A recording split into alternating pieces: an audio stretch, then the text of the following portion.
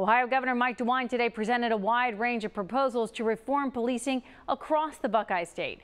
They include reclassifying chokeholds as deadly force, the establishment of a psychological screening process for would-be officers, six hours of conflict de-escalation training, keeping a database of all incidents where force is used open to the public, and mandating independent, not internal investigations following any use of force or deadly officer-involved shootings.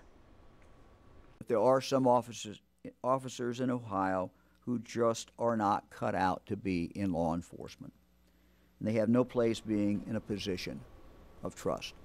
There is mixed reaction to those proposals. WCPO 9 News reporter Kristen Swilley shares two very different concerns that former members of law enforcement have about the possible changes.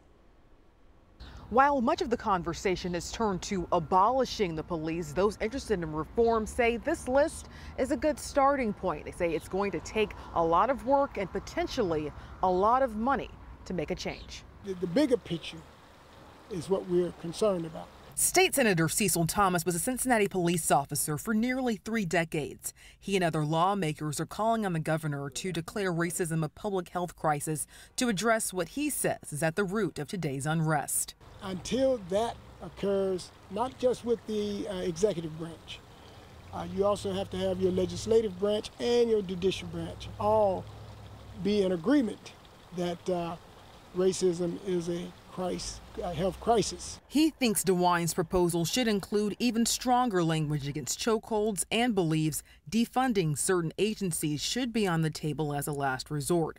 But Thomas does agree with much of Governor DeWine's list, including psychological exams. Uh, we got to have a mechanism in place that will uh, uh, establish some red flags that uh, can be identifiable. And he says the proposal to use outside agencies for investigations is key to any reform. There's obviously a, a level of distrust. And, You know, uh, come on, you can't have the police investigating themselves. Gene Ferrara is a former UC police chief. I don't know of anyone that would have a quarrel with the concepts of this, but the devil's in the details. He says training is valuable in any department, but it's expensive and runs counter to current nationwide calls to defund the police. You just can't give me money for a Ford and request a Rolls Royce.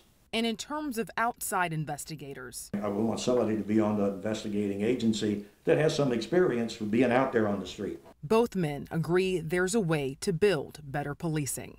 These proposals are recommendations to the state legislature. The Ohio Legislative Black Caucus has said this is just one part of the greater reform that is needed to see a change.